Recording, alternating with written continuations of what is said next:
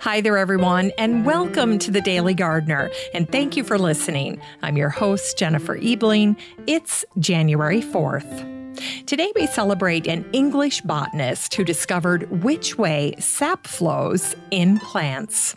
We'll also learn about a female Dutch botanist who fought for equity and is now remembered as a trailblazer. We'll remember a thoughtful and witty garden writer whose only book became a garden classic. We'll hear some thoughts on the garden in winter from one of my favorite authors. And we grow that garden library today with a book that shares the story of the French naturalist and medical doctor Aimé Bonpland. And then we'll wrap things up with a little garden trivia in honor of National Trivia Day. But first, I just wanted to take a second to tell you about the Daily Gardener Friday newsletter.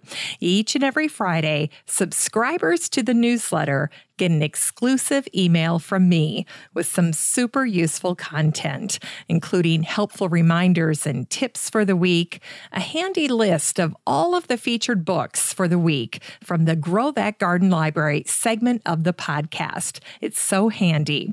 You'll also get a brand new botanist profile and a few hand-picked pieces of botanical poetry that have yet to be shared on the show.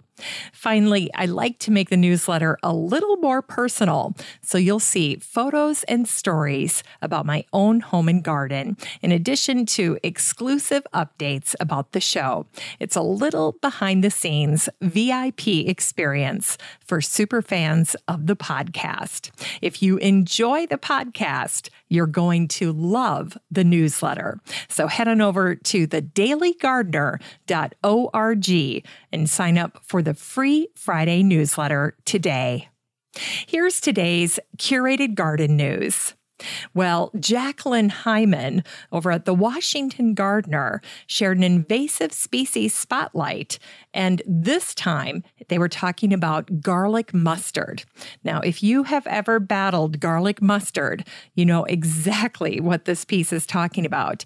And if you have some invasives on your property and you're not sure what they are, make sure to check out Jacqueline's article for information on this invasive, in addition to other invasives that have been talked about on Washington Gardener magazine. Now, if you'd like to check out this curated news article for yourself, you're in luck because I share all of those posts in the listener community in the free Facebook group for the show, the Daily Gardener Community.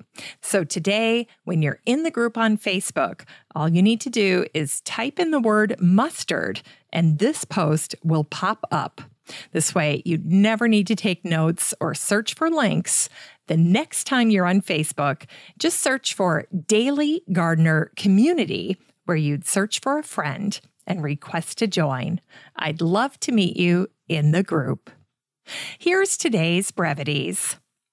Today is the anniversary of the death of the English clergyman, botanist, and physiologist Stephen Hales, who died on this day, January 4th, in 1761.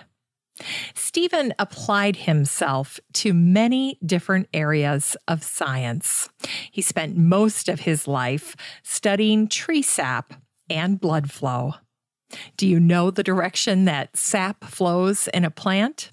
Well, Stephen figured this out. It flows upward. And he also examined other fascinating aspects of plants, like the sap's pressure and the pressure that roots exert on sap, and how fast shoots and leaves grow. He also demonstrated that plants absorb air. Stephen was always thinking about the forces around us, from our internal blood pressure to external air pressure.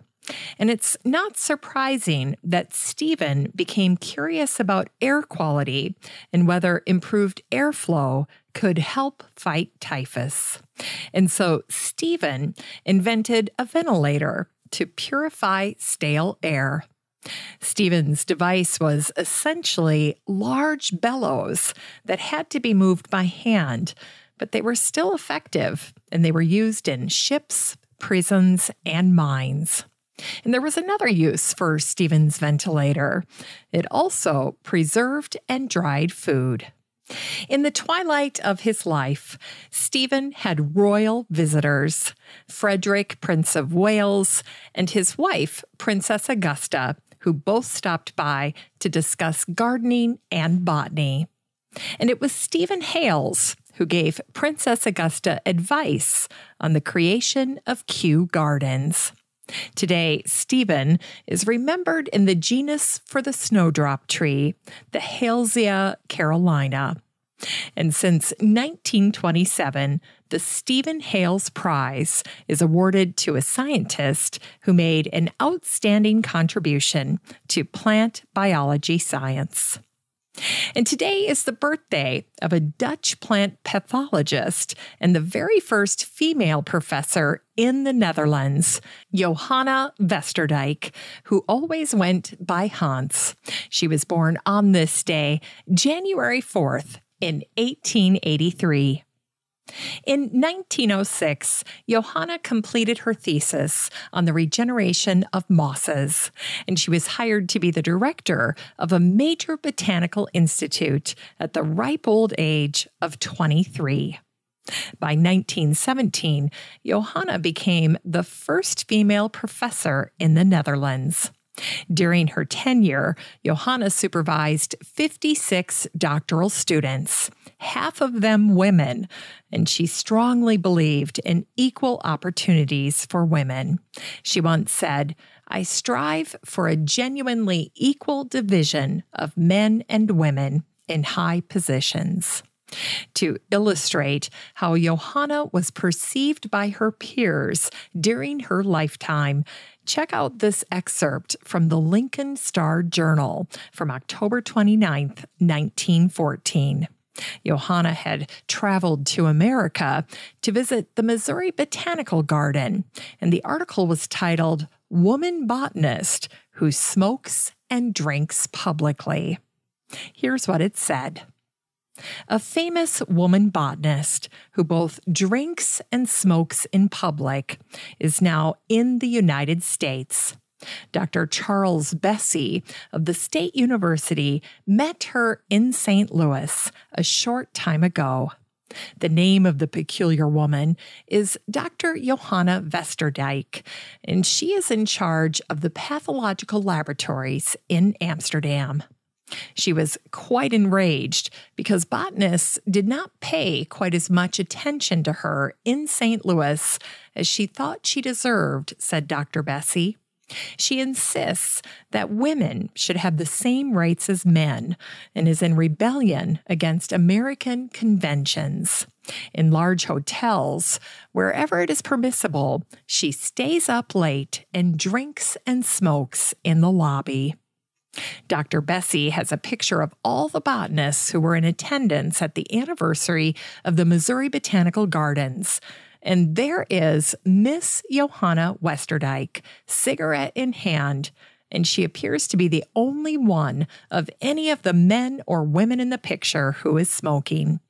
And Dr. Bessey believes that there is little danger of the learned doctor coming as far as Lincoln on her American travels.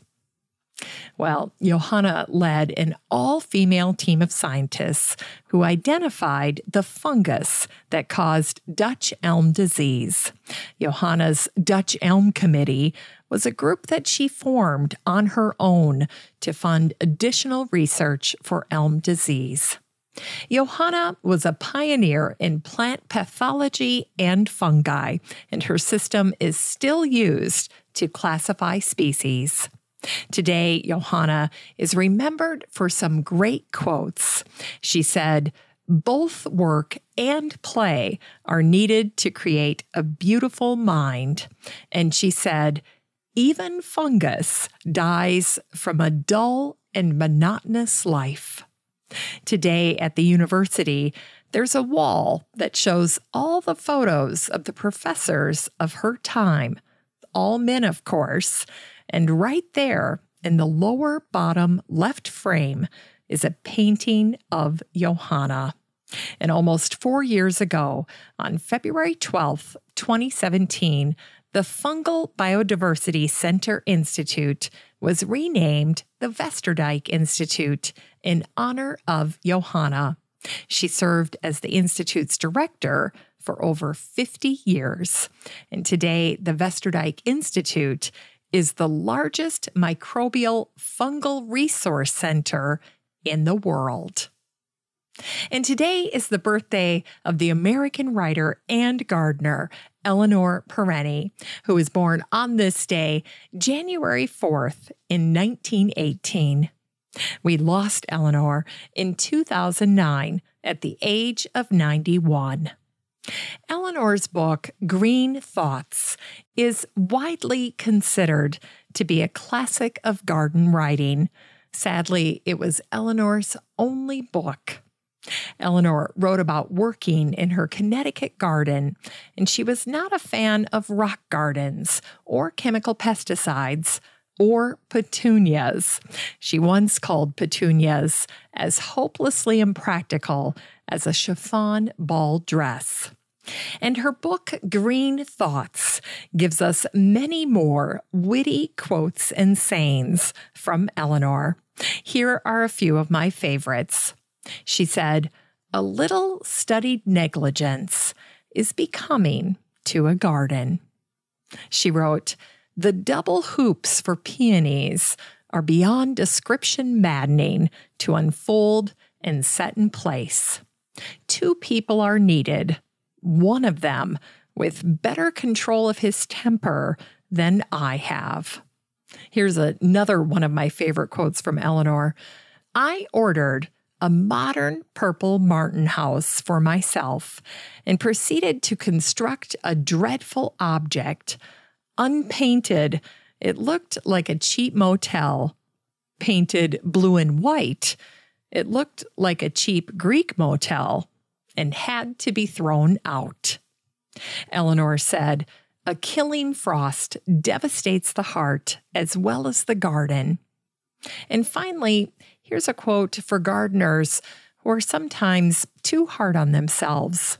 Eleanor recognized that, and she wrote, It takes a while to grasp that not all failures are self imposed, the result of ignorance, carelessness, or inexperience. It takes a while to grasp that a garden isn't a testing ground for character and to stop asking, what did I do wrong? Maybe nothing. In Unearthed Words, today's words are an excerpt from the gardener and garden writer Katharine S. White from her book Onward and Upward in the Garden. I have had to enjoy the winter garden vicariously with the help of books. The best for this purpose I have found is Elizabeth Lawrence's new one, Gardens in Winter, which has allowed me to share the delights of the author's garden in Charlotte, North Carolina, as well as the gardens and woods that she knows from her reading. Miss Lawrence is a classicist and can cite Virgil and the English poets as freely as she does Gertrude Jekyll and Jane Loudon. In this volume, she leads us most often to the English garden of Canon Henry Ellacombe. She also takes us to Walden Pond and Concord in the winter sections of Thoreau's journal. In North Carolina, Miss Lawrence says there are two springs, the first in autumn, just after the killing frosts, and then the true spring, which starts on St. Valentine's Day. But she reminds us that it was Thoreau who wrote, All the year is a spring. And her book seems to prove this to be true, even in the North. She has collected winter garden notes and flowering dates from her network of correspondents all over the United States and shares these with her readers. And though we Northerners will envy her her iris and camellias in November, her roses and hardy cyclamens in December, and her violets and hoop skirt daffodils in January, she shows us that all winter, even in the most frigid and unlikely spots, there are flowers or shrubs in bloom, or at the very least, in fruit, if we look for them carefully. It's time to grow that garden library with today's book, A Life in Shadow by Stephen Bell. This book came out in 2010, and the subtitle is Aimé Bonpland in Southern South America, 1817 to 1858. In his book, Stephen shares the story of the French naturalist and medical doctor Aimé Bonpland, one of the most important South American scientific explorers in the early 19th century. Working alongside Alexander von Humboldt, Aimé later conducted his own research and went much farther south than Humboldt. Stephen outlines Aimé's movements through Argentina, Paraguay, where he was imprisoned for nearly a decade, Uruguay, and South Brazil. By exploring the interior of South America, Aimé's experience is a unique account of the natural world, along with the social and economic circumstances of the era. Stephen's well researched book is no longer in print, but you can still find rare copies online. This book is 336 pages of fascinating history showing Aimé Bonpland's life in rich detail. You can get a used copy of A Life in Shadow by Stephen Bell and support the show using the Amazon link in today's show notes for around $62. Finally, here's something sweet to revive the little botanic spark in your heart. Today is National Trivia Day, and in honor of that, I thought I'd close today's show with some garden trivia for you. Here's the first question Are almonds in the rose family? Second question what is the world's tallest tree? Third question In the 1600s, what flower had the most value? Question four Where was the poinsettia discovered? And finally, question five What is the largest flower in the world? Well, if you answered yes to the first question, are almonds in the rose family? They definitely are, along with apples, peaches, pears, cherries, raspberries, strawberries, and more. All are in the rose family. As for the world's tallest tree, question two, the answer is the coast redwood, the sequoia. Question number three in the 1600s, what flower had the most value? The answer is the tulip. In the 1600s in Holland, tulips were worth more than gold and caused the crash of the Dutch economy. The craze was called tulip mania or tulipomania. Question four Where was the poinsettia discovered? The answer is Mexico. In 1825, the first United States minister to Mexico, Joel Poinsett, introduced the plant to America. And finally, what is the largest flower in the world? Question five. And the answer is the Titan arum. So, congratulations if you managed to get all of those right, and happy National Trivia Day from the Daily Gardener. Thanks for listening to the Daily Gardener. And remember, for a happy, healthy life, garden every day. The Daily Gardener is produced in lovely Wyoming, Minnesota, with the help of Paige Mance, Brooke Beerbaum, Kiana Rayleigh, Maddie Doyle, Natalie Decker, and Eric Begay. You can find The Daily Gardener on all your favorite social media. You can follow the show on Instagram, and listeners always have a standing invitation to join the free Facebook group for the show. Just search for Daily Gardener Community the next time you're on Facebook and request to join. All the stories and books that are featured on the show can be found over at thedailygardener.org, thedailygardener.org. And while you're there, be sure to sign up for my free Friday newsletter. Last but not least, you can share your own gardener greetings on the show by emailing me at jennifer at thedailygardener.org. I'm your host, Jennifer Ebling, and as always, have a great day in the garden, and we'll see you tomorrow.